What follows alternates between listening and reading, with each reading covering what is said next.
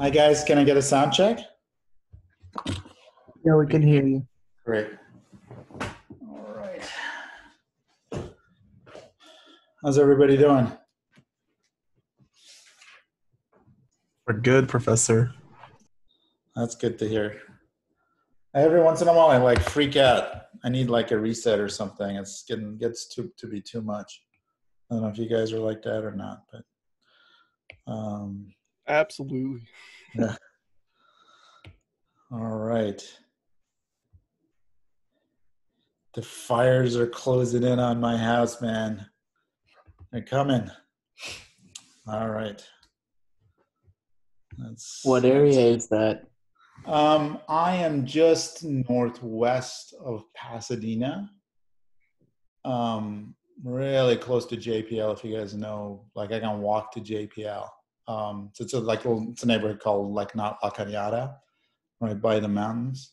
It's still pretty far, but you know, it's just you know you, you just like can't help but tracking that thing, and it's like every time I look at it, it's like closer and closer.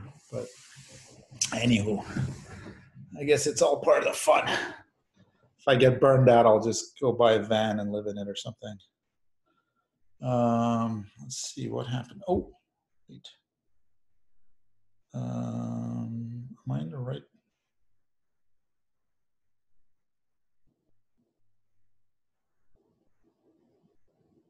Nope. Sorry, just give, guys, give me one second here. I think I went into the wrong meeting. Hmm. Yeah, Helen. Okay. And then I want to screen.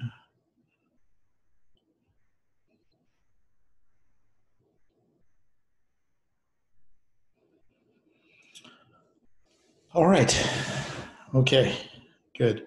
So, um, so guys, I, um, you know, last time, last lecture, we started talking about the, you know, the actual characteristics of a um, of a MOS transistor, and um, I think I did such a bad job of it that, like, looking at it, I don't know what was wrong with me, but I I didn't I didn't feel like I was making any sense. So I thought I would take it one more time from the top and tell it to you guys the same info, but just in a different way and see if it hopefully it'll make more sense. Or maybe it'll just keep confusing you, or maybe the first time made sense. I don't know. But but I just want to take it from the top. These are like important concepts and unfortunately you know we don't have a lot of time to cover it so if you don't have background a, a background in MOS transistors I think it could get really confusing. So again I'm just gonna go do it again in a you know same information but hopefully in a more measured way. Okay. So let's let's start it from the top is that um, you know let's say you want to make a MOS transistor. What do you do? Well, you have, you know, you're using a, you're doing a, you know, you have a semiconductor, which you use silicon for. And again, I'm, I'm going to take it right really from the top, but just do a, um, a real short version of this. So if you look at the periodic table,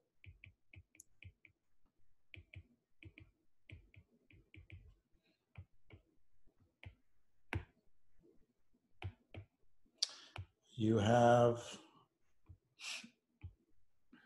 what do you got? You got sort of this group four. You have carbon, you have silicon, you have germanium.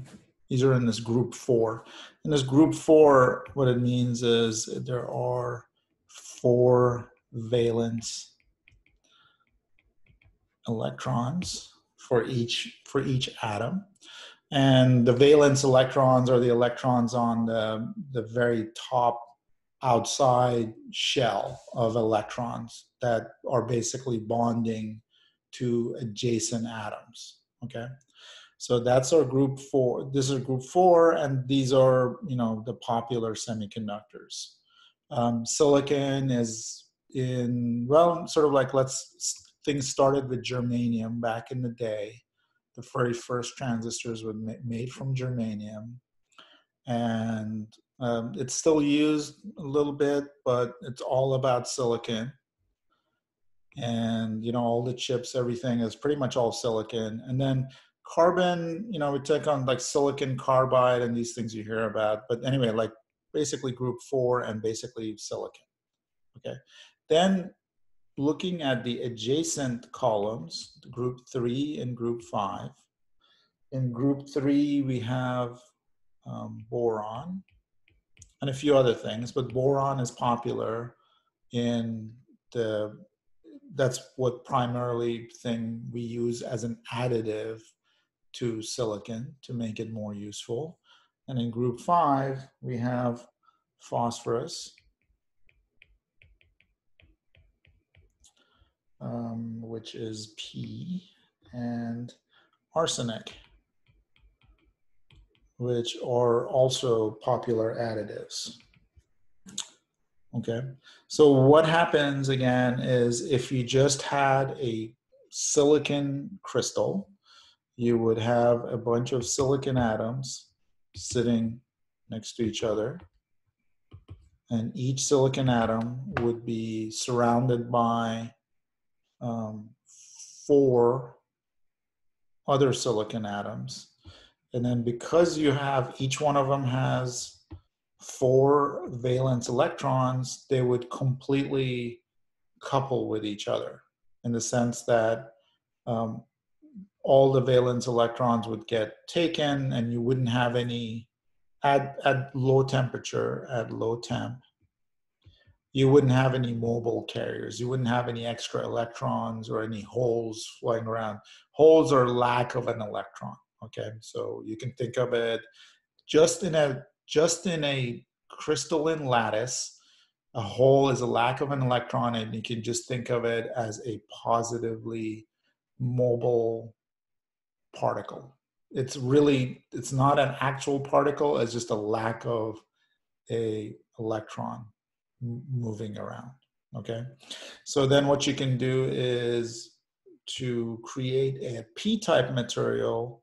What you can do is you can instead of you know remove some of these silicons and by using um, something like an ion implanter or otherwise diffusing stuff, basically stick a boron atom here.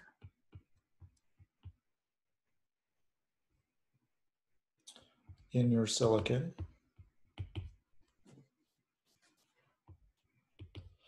And then, so what happens is because boron only has three valence electrons,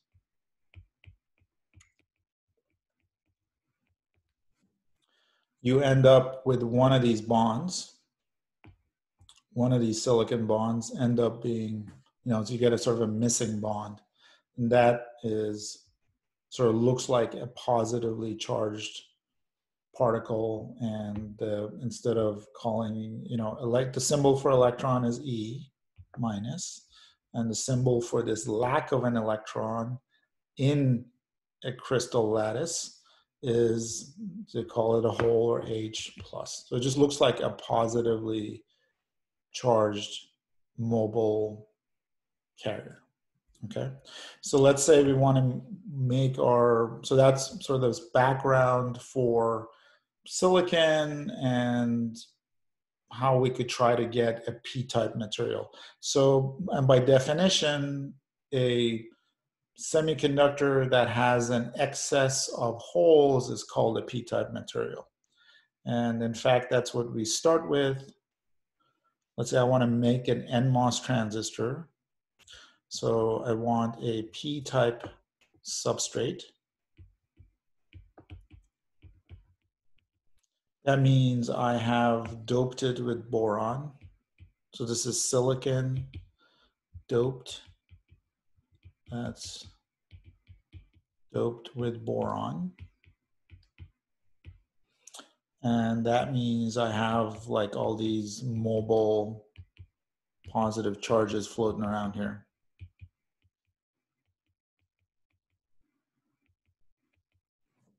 Okay. All right. So now let's say I'm going to start building my um, NMOS transistor, but first I'm just going to make it NMOS type capacitor. So what I'll do is I'll deposit a very thin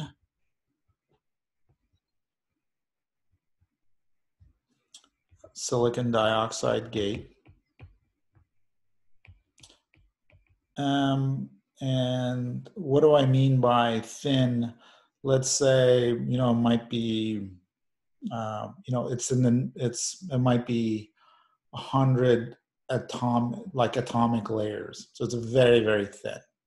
Okay. Because this silicon dioxide is coupling your gate material, which is usually polysilicon. So this silicon dioxide is what's coupling that polysilicon to your substrate. So to get more control over your substrate, which is what gives you sort of a gain of a transistor, you want that oxide to be really, really thin, okay? So anyway, you have a polysilicon, you have the silicon, and then to have a, um, I need a contact to my substrate. So given that this is, you know, a, a wafer and I only get contacts to the top, I'll put in a P plus, I'll implant a P plus layer here to basically make electrical contact to my P substrate. Okay, and then to make electrical contact, uh, this is all cross-sectional drawings. I'm gonna put in a, so this is an actual contact. We talked about this. And then um,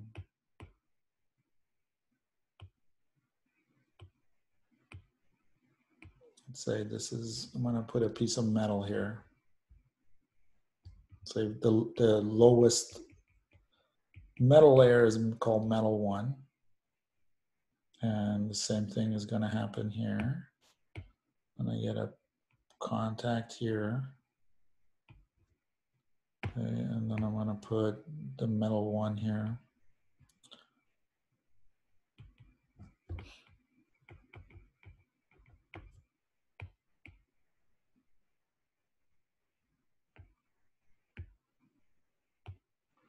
So let's say I'm gonna put a voltage on here, whoops. I'm gonna put a, let me actually shrink this whole thing so it's a little easier to deal with.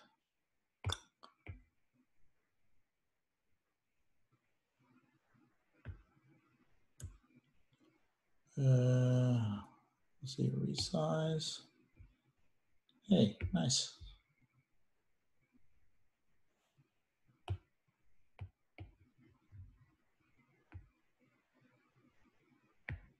Does everybody follow me okay so far? Yeah. Okay, great. Um, let's say, so I'm going to put a voltage here.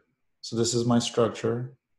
And I'm going to connect the voltage here, and I'm going to call this the gate voltage, V sub G. Okay, and I'm going to hook up an external voltage to this guy. I'm going to call this V sub for V substrate. Let's call it V source. So I think that's what we're going to use. No, let's call it substrate.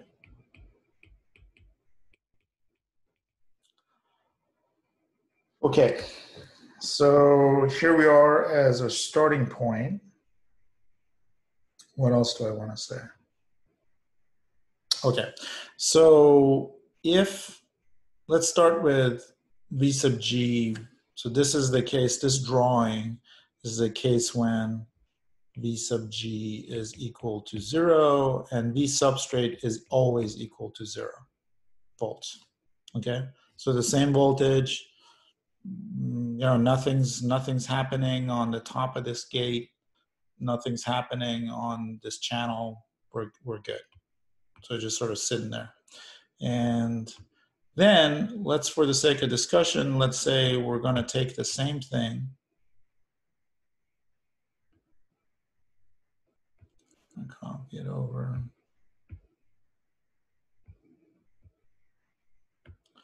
Okay, and then I'm going to make v sub gate greater than zero. So I'm going to start increasing this v sub g. Sub v sub, I'm going to leave it alone. Okay, as I start increasing v sub gate, what happens is I'm going to start putting positive charges here. Right, that's how I get a higher potential on v sub g. I'm going to put basically sort of pull current out of this, put uh, pull electrons out of this top plate. Okay, now this looks exactly like a capacitor, right? It looks like a parallel plate capacitor. I have the top plate.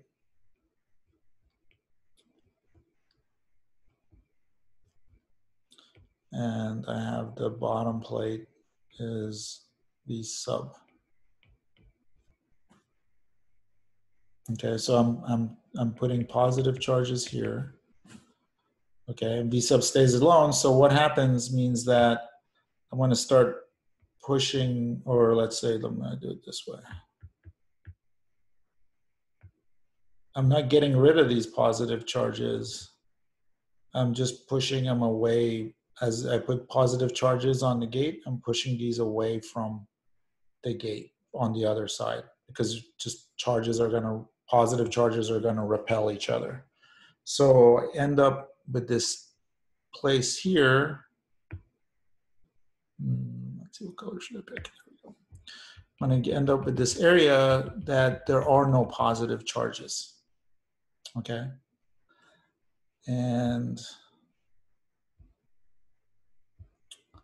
let's say I keep increasing V sub G.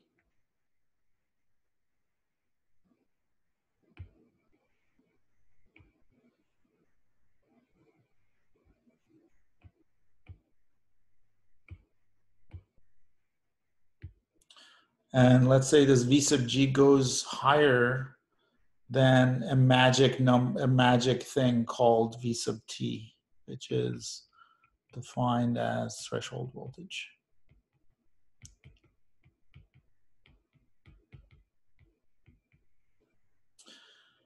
Okay, and this v sub t is something that's uh, dependent, so it's proportional or inversely proportional to the thickness of the oxide. So the thinner the oxide, no, I'm sorry, it's proportional to V sub G. So um, it is proportional to the thickness of the oxide.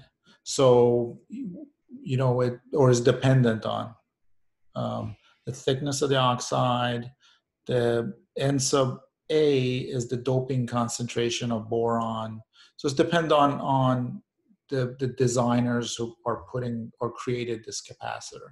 But those are the, the dials they have, how thick the oxide can be, this oxide gate, and how much you know boron they, they put into the channel. Okay, so let's say once the V sub um, G goes higher than this number V sub T, okay, now what happens is um,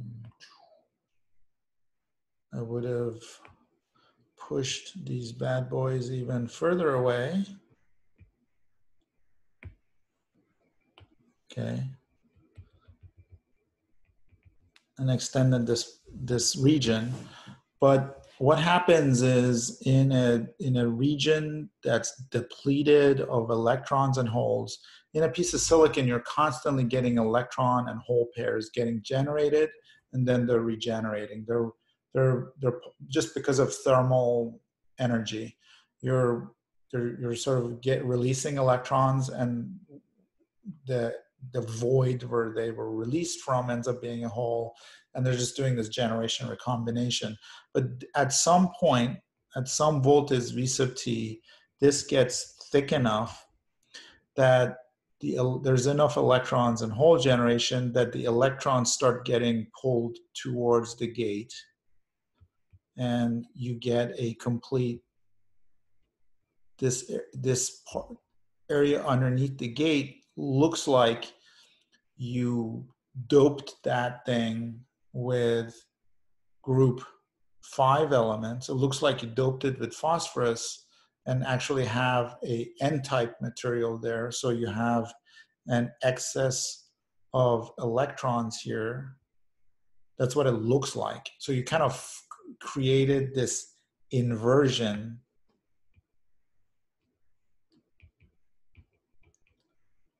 of your material type. Okay, you went from a p-type material to a something that looks like an intrinsic material because you just pushed all the holes out of it just looks like silicon there for a while. And then it inverts and looks like just that channel underneath the gate looks like an n-type material just because there's a bunch of electrons floating around there. Okay? Doesn't mean that you actually implanted boron sorry doesn't mean you implanted phosphorus or arsenic in there it just means that because of the structure of this capacitor and the way you push the holes away and the, the generation recombination charge and pulling the electrons in, by all those factors, you created this channel of electrons right underneath the gate. Okay, and you can basically adjust that channel by increasing the gate voltage compared to the substrate voltage if you increase it, increase it, increase it, you hit it something called the threshold voltage where you get this inversion and then you can keep increasing it, okay? Everybody with me so far? Yep. Okay. Uh, Professor, just to Yeah. clarify, the inversion happens at the threshold voltage? Inversion happens at, yes. It's, it starts happening so you you end up it's it's not like a how should i put it? It's not a completely a you know a binary type of thing but it's such a it, it you do end up getting something called a sub threshold current or a sub threshold channel but it it's much much less than once you hit the threshold. So if I was gonna, if I was gonna have a, so I'm gonna I'm gonna do this do this slowly, but let's say I have, I created a transistor, which I'm gonna do slowly for you guys, but let's say we had source and drain and gate. Okay, so let's say I drew this um, V gate, okay, as a function of I sub D. Okay, this model of what we're talking about seems like it's saying at some V sub gate or V sub gate source, V sub T, I end up getting a current. That's what this model says. Whereas in reality, what you have is something like something like that, where you start getting a current at a lower point, and this is kind of the V sub t is really the asymptotic point when you take the your higher higher voltage, higher current values and extrapolate them down to zero current is where you what you get V sub t, but in reality it's a little bit different. Does that does that answer your question? Yes, Professor. Thank you. Okay. So it's it's a little bit of a fiction, but it's it's pretty good. I mean, we'll we'll talk about how we need to adjust our models in a couple of lectures to adjust for this. This this area is called this is called sub threshold current. And we're gonna we're gonna look at this as like a second order effect. So everything we're talking about so far in this lecture are first order effects. Okay, so it's sort of like the simplest model of the of the transistor. Okay, so let's now say that let me find a let's take this guy.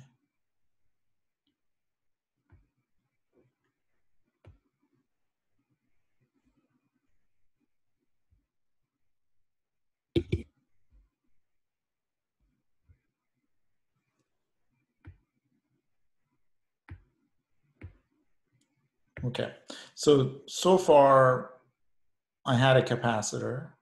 Okay, now I'm gonna make it into a, you know something called a transistor by adding a, uh, sorry n plus and n plus. So I still have this structure of this channel with the substrate and all this and the gate, but the difference between a MOS capacitor and a MOS transistor are the source and the drain nodes. Okay. And the nice thing about these nodes is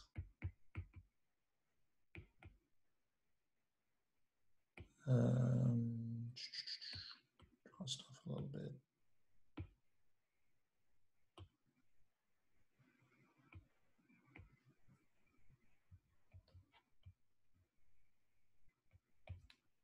It gives me another couple of um, things to connect up to. Okay, so I can put up, whoops, me. So I can drop a contact here, drop a contact here, and also put in a metal one.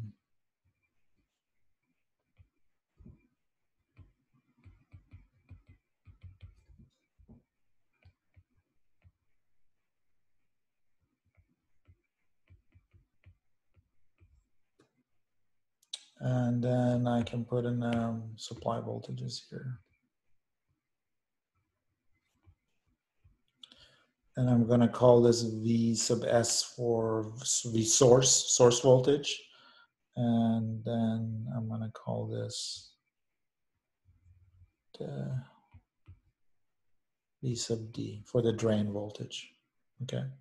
So substrate stays there, connectivity, gate, source, drain. Okay, so now I have an NMOS transistor.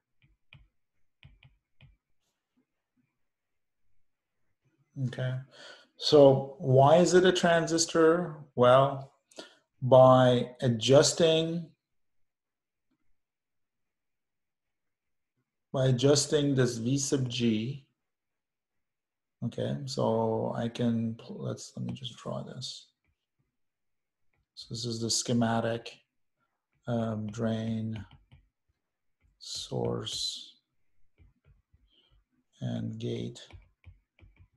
So I can move this gate um, voltage up and down, okay, with respect to the source and drain.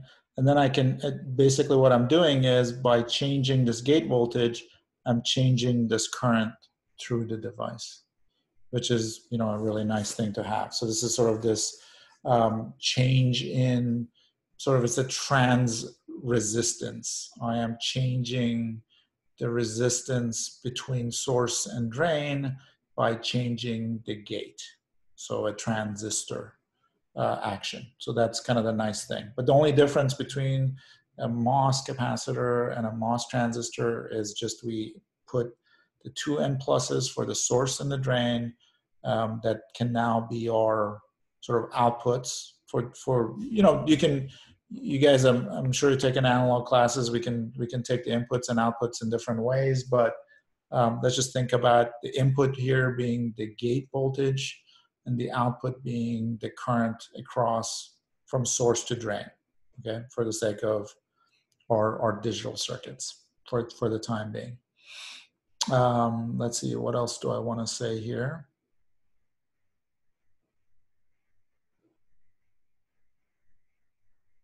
Okay, so let, let's take it through the same thing, Ben. Um, when V sub G, okay, so the, these guys, the N plus to the P.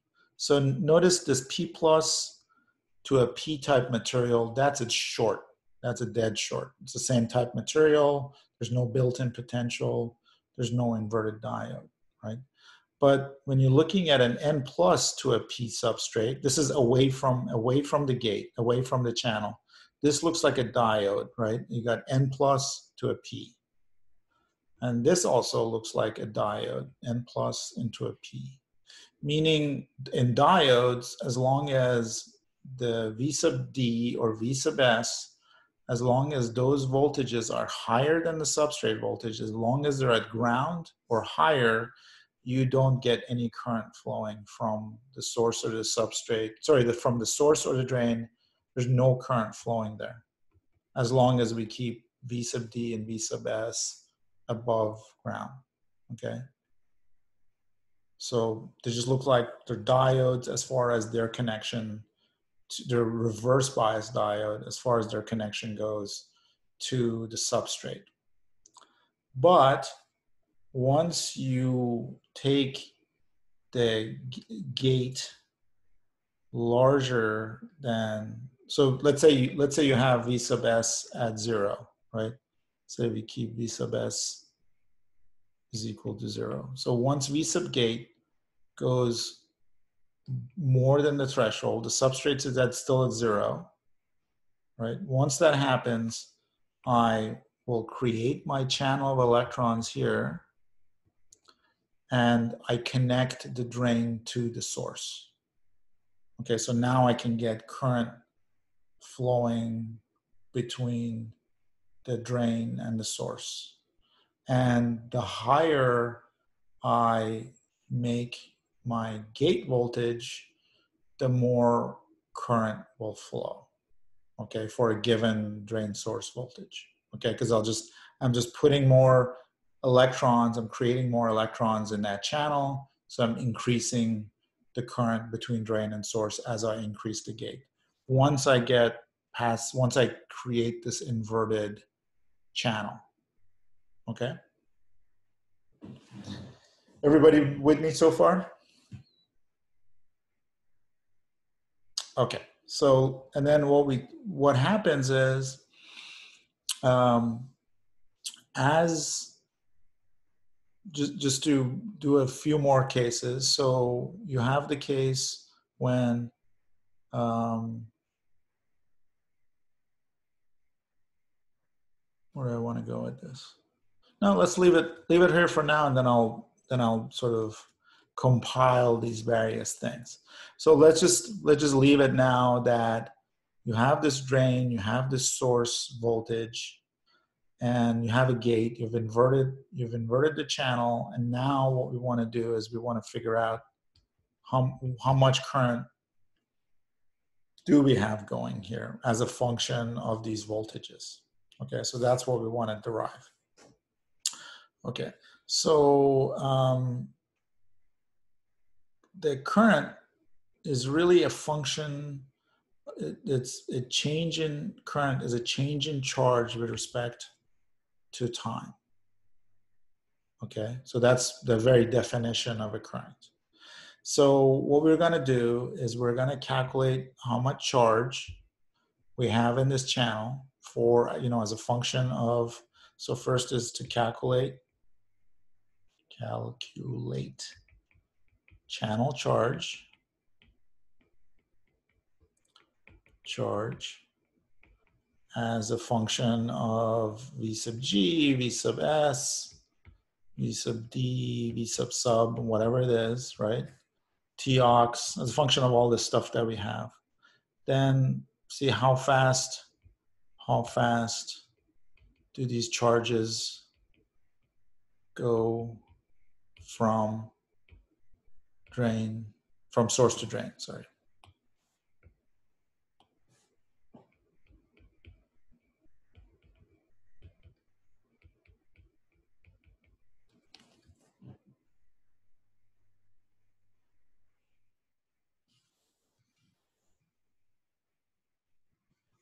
Everybody with me so far? Yeah. Okay, cool. Okay, guys. So first, look. Let's look at the charge, charge Q. Okay. So Q is this is just a straight out of Maxwell's equation. Q is equal to CV, right? So we said the structure of a MOS gate. So first let's look at the C, right? The capacitance. It's, we said it's like a parallel plate capacitor with the top of the plate being separate from the bottom of the plate by the oxide thickness. Okay. And the area of this parallel plate capacitor is the length of the transistor times the width of the transistor that we drew. Okay. So, and then, so this, this, this equation ends up being um, the width times the length of the device, okay, times the dielectric constant of silicon that's made out of silicon dioxide. Um, so, um, and that's times a silicon dioxide over the thickness of the oxide. So that's this capacitance. Okay, so let's let's look at that a little bit. So um, WL thickness of the oxide, I'm going to leave that alone. This epsilon silicon dioxide is 3.9. That's sort of the relative dielectric constant of silicon dioxide times the permittivity of free space. I think that's 8.854 times 10 to the minus 14 farads per centimeter.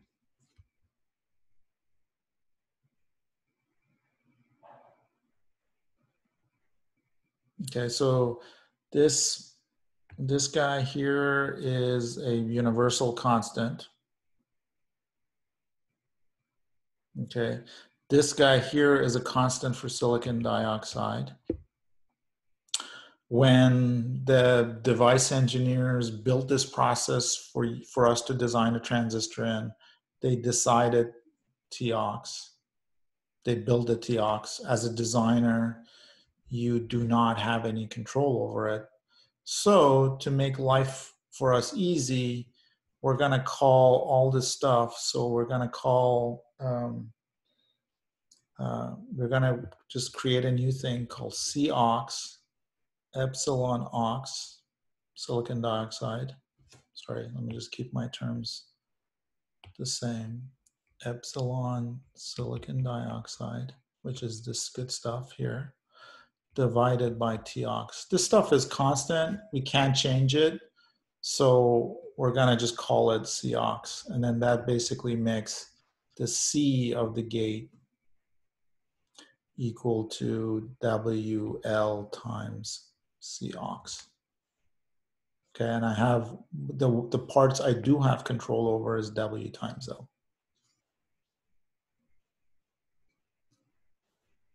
Okay, so that's this part. The other part is V. Okay, so this is the voltage on the channel, right? Now, the thing is, unless the the, the, the top of the channel, the gate is constant across the channel. But unless the drain and source voltages are exactly the same, the voltage of the channel is going to depend on where you are. Uh, wasn't very good? Let me so it depends on where you are here, where you are here.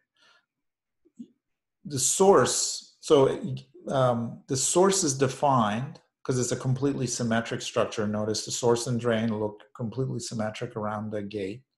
The source is defined as a voltage that's low between the source and the drain.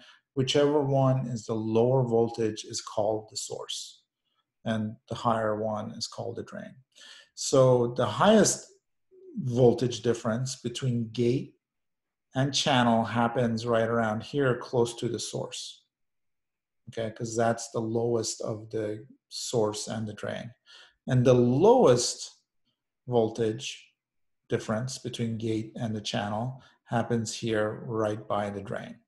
Okay, you have this sort of continuity of voltages in the channel, the drain being um, the gate drain being the lowest voltage and the gate source being the highest voltage. Okay, so to get and what we do is to get this charge, we pick an average value for the voltage in the channel. So we say, okay, so this average value, average channel value is um, V um,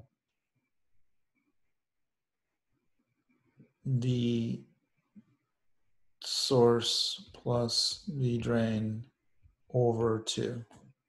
Okay, it's just the average we're, we're picking. Okay, and I'm going to just rewrite this as V source plus V drain source over 2. And V drain source is just equal to V drain minus V source.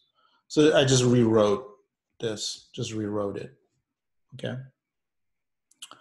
And remember the the the the voltage of that you'll see across, you first have to put enough voltage on the gate to invert the channel. Okay, so we, we have to first put in a V sub t or the threshold voltage. Up until that point, nothing happens, right? So first we have to put V sub t, and after we get V sub t, the incremental voltage after V sub t on the gate is what adds to the incremental charge in the channel. So what we really need to look at is VGC, V gate channel minus V sub t. Okay, to for this voltage.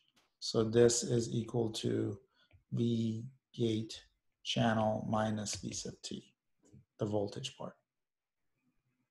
Okay, so that is equal to um, V gate minus, so we're going to use this average value of the channel voltage, which I wrote as this guy, minus V source plus V drain source over 2 minus this whole thing, minus a VT.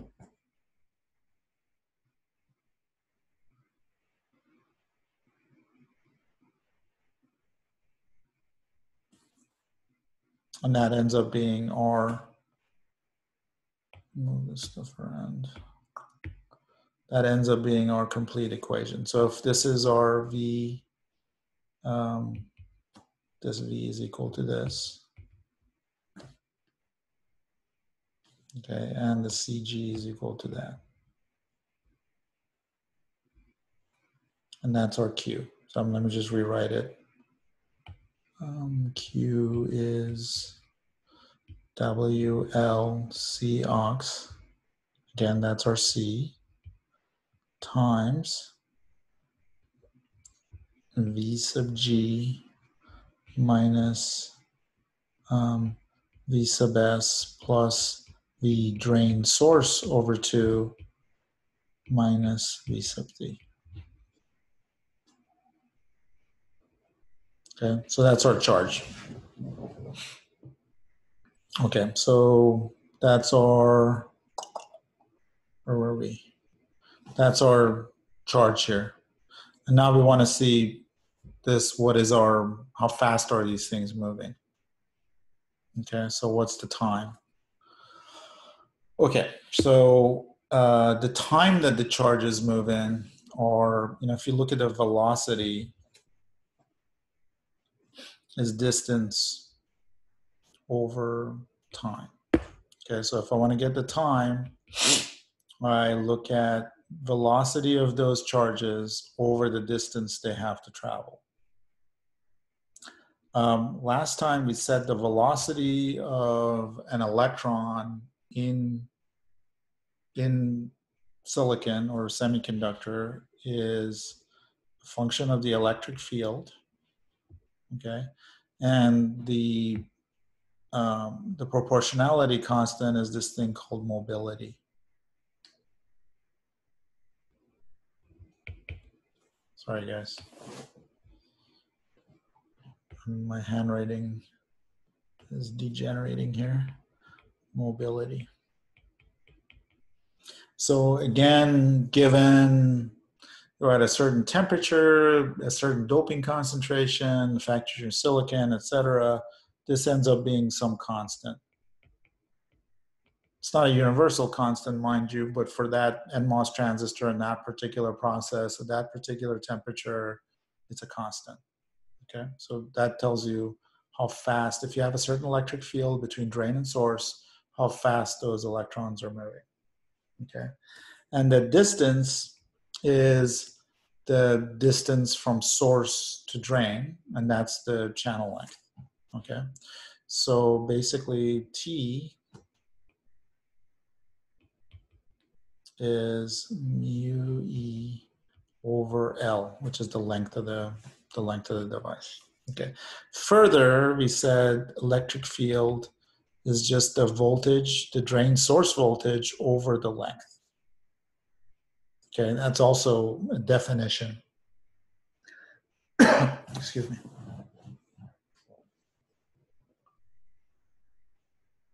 By the way, are you guys able to follow this a little bit better than my what I was saying last time? Hopefully, the two of them anyway will make sense together. But um, I'm just now I'm just driving deriving the drain current equation as a function of these voltages.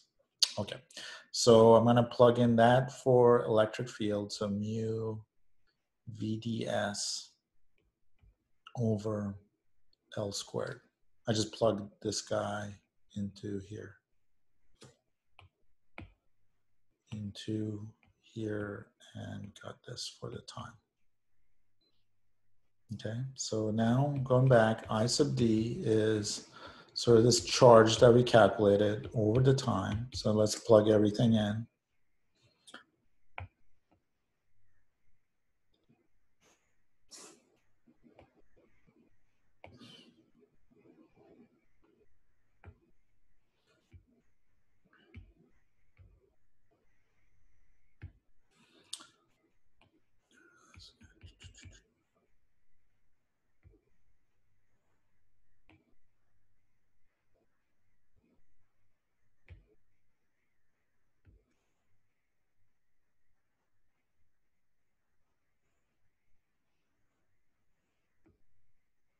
Sorry guys, just trying to make it a little cleaner here.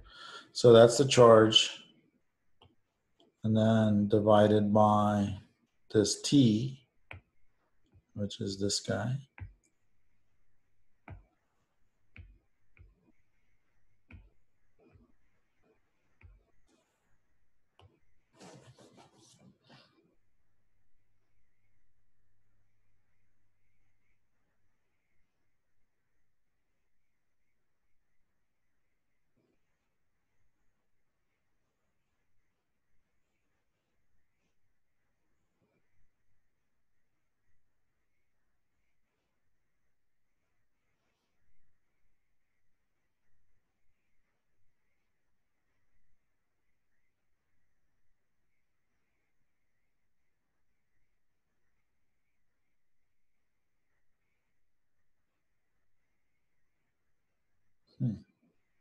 Wait, why did I do this? Hold on a second, guys. Sorry.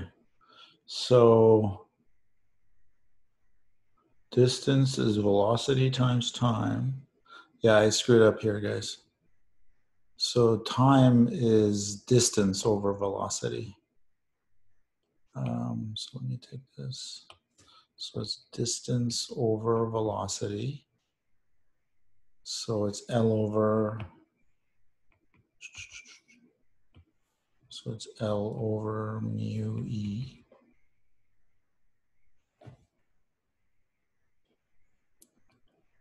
Whoops. So it is L squared over squared over mu VDS.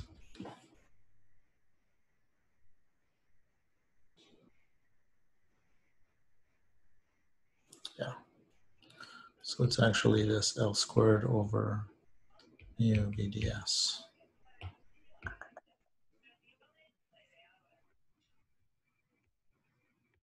Okay.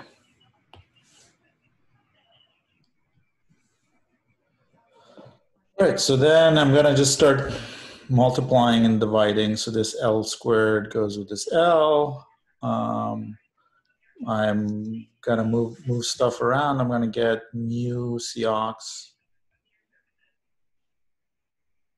Um, W, whoops. W over L. Then I'm gonna I'm gonna call this um, V gates V gate T.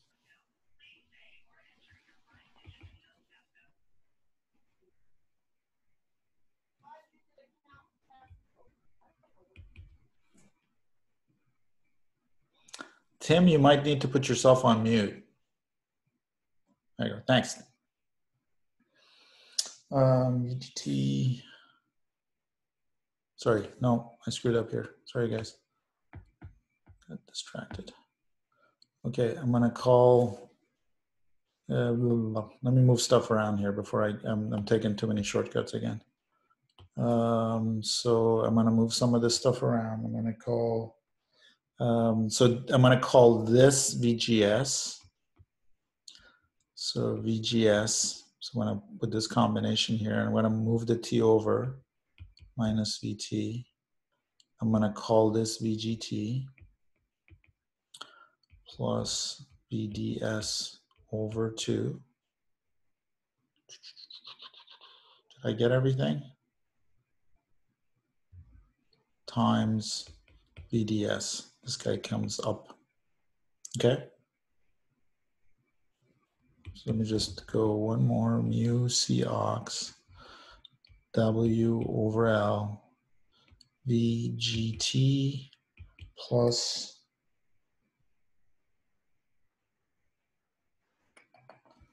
Oh, sorry guys, this should be, because this minus went in here, it's also got to go over here. So this is a minus.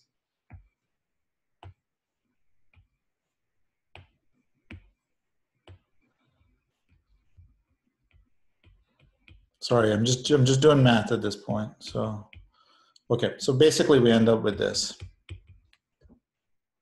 Okay, and, and we called VGT we define that as gate source voltage minus the threshold. Okay, and then the book. So now we have um, I sub D, the, the drain source current, as a, a, function of, so these are process constants, the mobility, and remember, Cox was dependent on the thickness of the oxide and the dielectric constant of silicon dioxide. So it's a function of these constants. And then a function of um, how we drew the transistor, which is this W and L, and also how we, we the voltages that we apply across the transistor, which are the gate, the source, the drain voltages. Okay, so now we have I sub D. Um, so furthermore, to make our life a little simpler, um, for any particular transistor, we're gonna, let's say you've drawn this transistor, okay? It's, it's done and dusted, it's in silicon. This guy, you can just assume to be the gain of the transistor or beta. So we can define beta as mu Cox W over L to make I sub D is equal to beta times VGT minus VDS over 2 VDS. Okay. So here we are. This is like the the master the master equation for this for the time being. Okay. Now, there are, let's look at the, the particulars. Okay. So now if you look at a, a transistor and look at the I sub D in various states. So the first place, so we have the V sub gate, V sub drain, V sub source, whoops.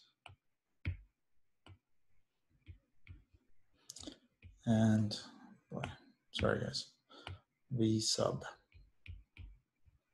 Okay, those are the four voltages we have. Okay, and so let's see how this transistor looks with different values for these in different operating regions. Okay, so V sub, we always make it zero for an NMOS transistor. Okay, and then we'll talk about how PMOS is different. Is everybody followed me so far? Again, I just talked about how we created a transistor, how we created a channel by changing the voltage with respect to the uh, the channel um, potential, and then sort of what the current looks like. Okay, so then we have a bunch of regions of operation. Again, always with this I sub D current.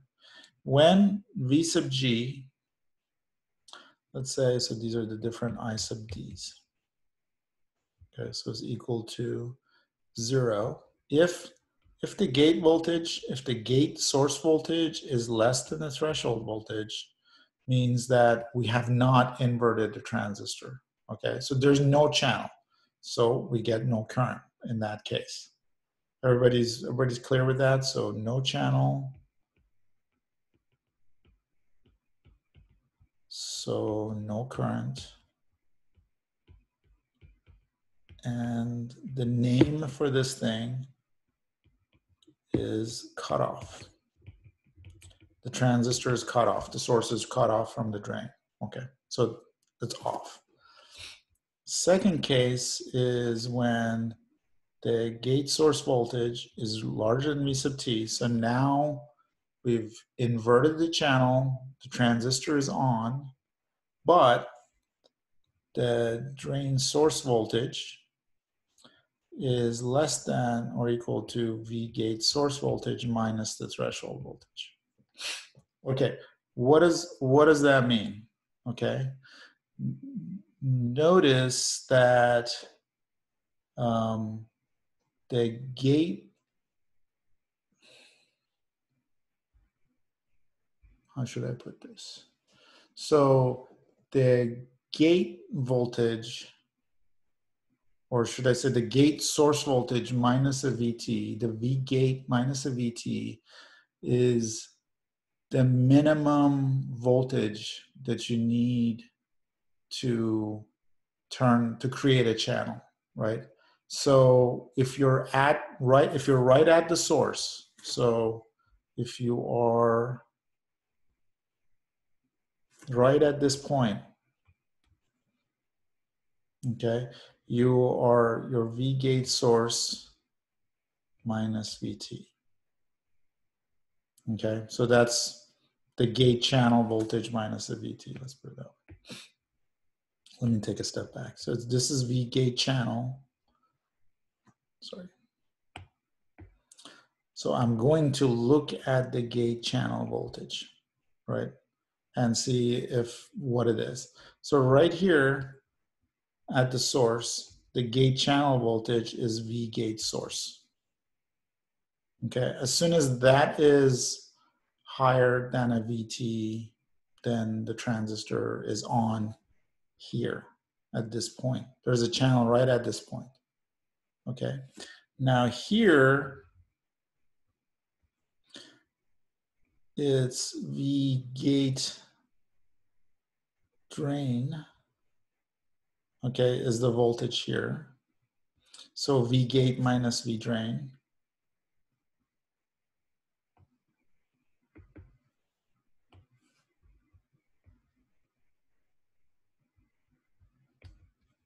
That's the voltage at this point, right? If the drain voltage is higher than a certain amount, okay, I'm gonna lose my channel here. Initially, I have a channel. If the if the source voltage, if the sorry, if the drain voltage is the same as the source voltage, I have a very high potential here, just as high as the potential here. So I'll have a channel across from here to here, from the source to the drain. But as the drain voltage gets higher and higher, basically this, this point in the channel gets closer and closer to the gate voltage. And at some point, it gets close enough that it's less than that magical threshold voltage. So I no longer get a, um, a channel here at the drain. And in fact, as um, you in, keep increasing the drain, this region where you don't have the channel is creeping towards the source more and more. So instead of a channel, you end up getting the depletion region, right? So instead of you're doing the in reverse of inverting the channel, you're taking the inversion away. You're moving the inversion away as you go from the drain towards the source. And so this is called pinch off.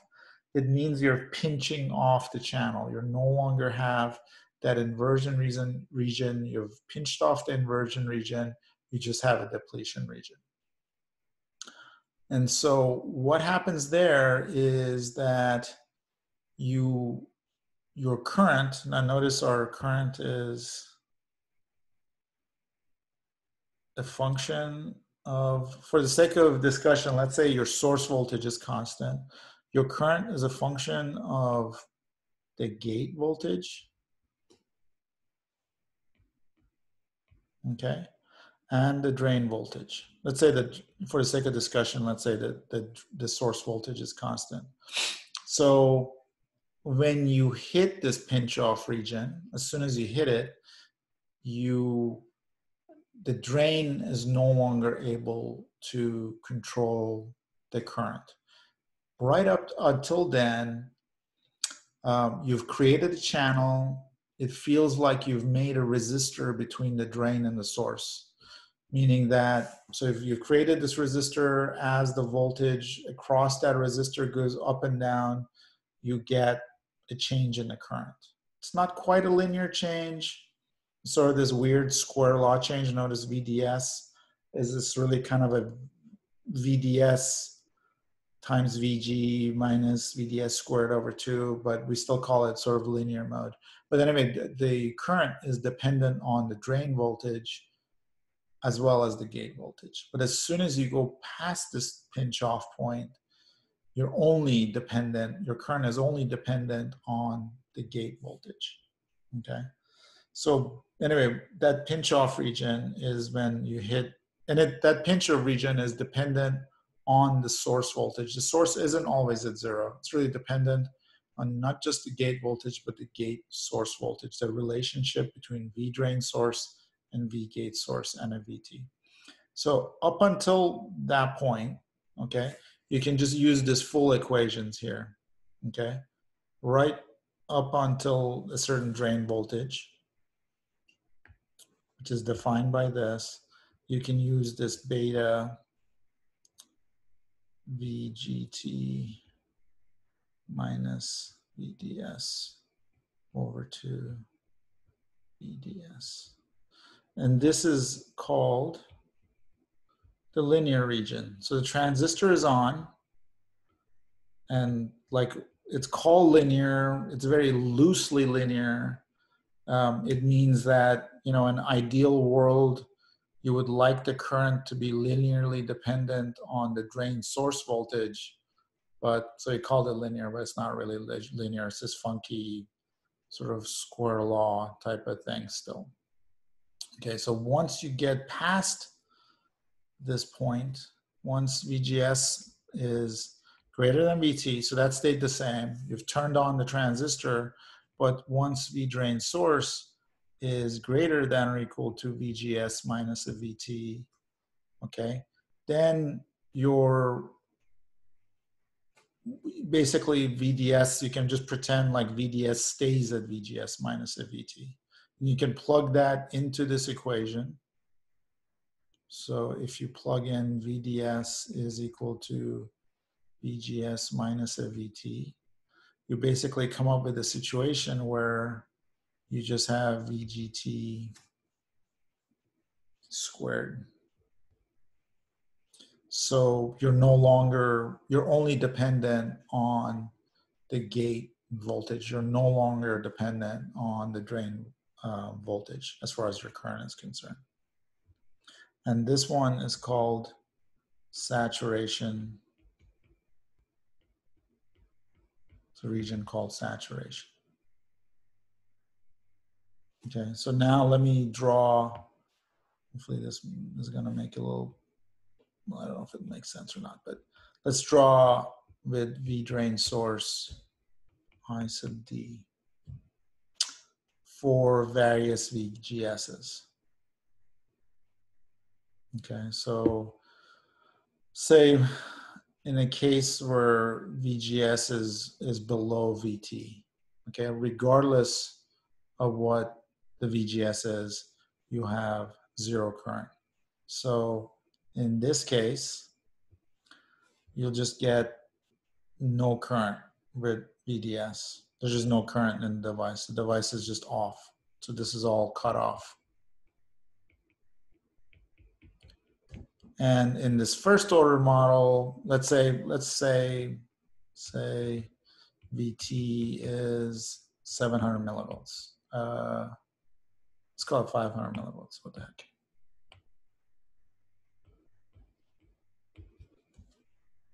Okay. If it doesn't matter in this, again, first order model, if the gate voltage is 100 millivolts, if it's 150 millivolts, 200 millivolts, 300 millivolts, 350, whatever it is, they all, there you get zero current across the device. So all those curves, so these are different, different VGSs I'm gonna draw on this thing. Um, you basically get no current, okay? At some point, at some point, VGS is gonna be a little bit over um, the threshold voltage. So we're gonna turn on. So what happens then is you're gonna start getting a current. Initially, when say when the, let me do, whoops. Let me do this, um, call this one volt. Uh, no, let's, let's call this three volts.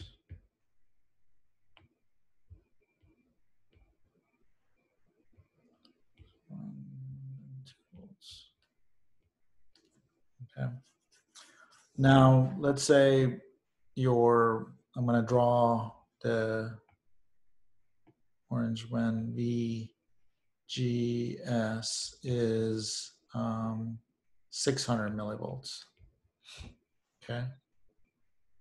Now the transistor is on, so I'm going to start getting a current. And it's going to depend on the drain source voltage in this funky way. It won't be it won't be a line. It'll be kind of a line with a curve on it. And it'll look like that until um,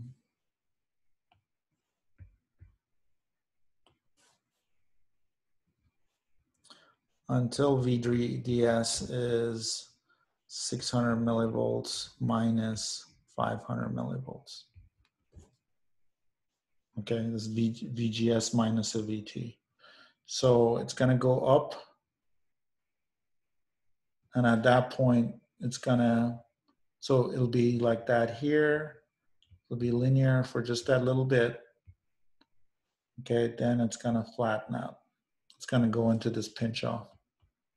And here, because it's just dependent on this gate source voltage, which in this case is 100 millivolts, this is going to be a flat line. Okay. Now let's say I'm going to draw, um, use pink before. Let's go, I'm going to draw um, VGS is equal to um, one volt. Okay. Now um, we have a that that curve of ID will go up to when up to here. Here VDS is one volt minus 500 millivolts. The 500 millivolts stays the same because your threshold voltage stays the same. So you have this current that goes up in this quote unquote linear way up to here. Okay, then it flattens out.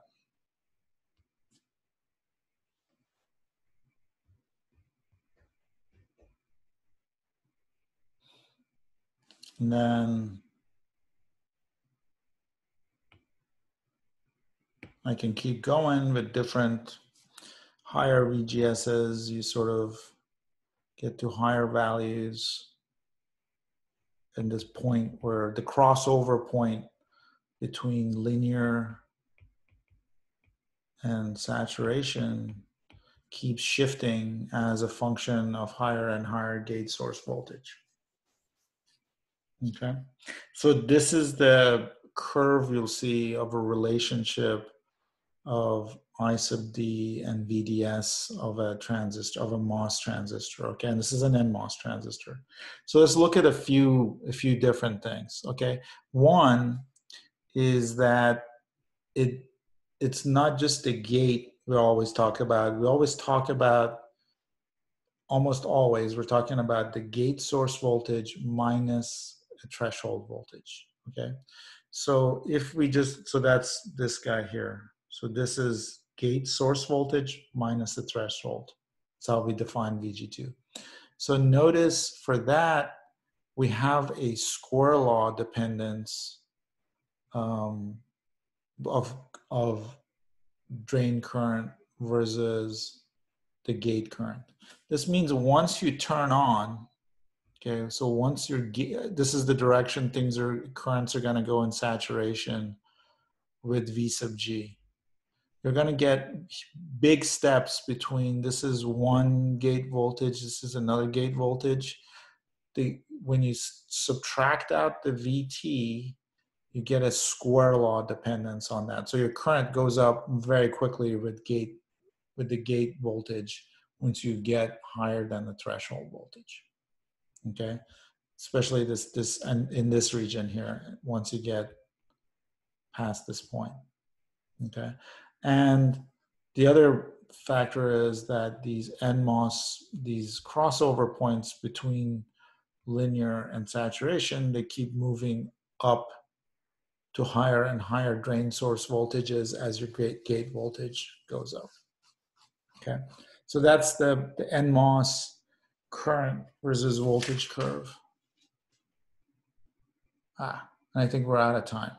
So let me let me say just one more thing the PMOS looks the same, except it's inverted. So if I was gonna drive, draw a PMOS, the curves would kind of look like this.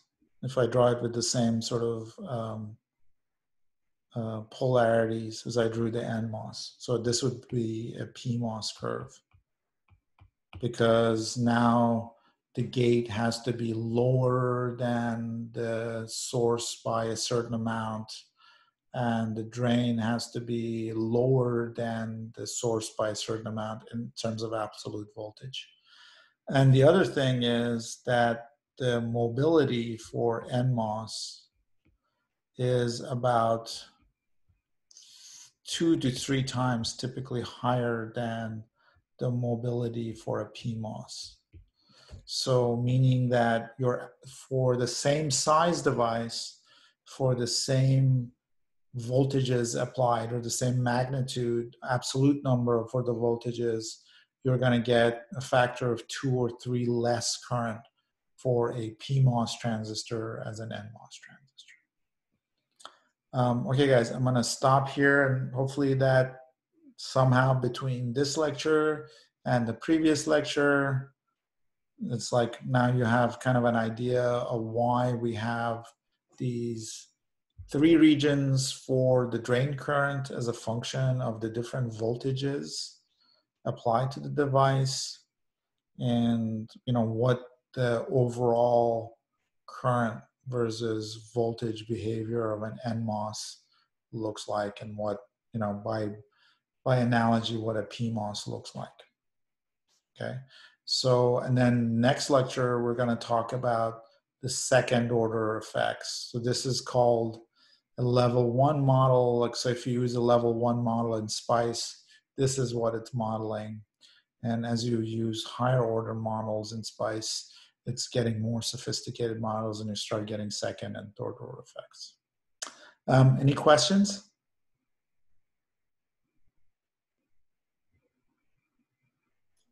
No, no questions. Okay. All right, guys. Stay safe. Talk to you guys on Thursday.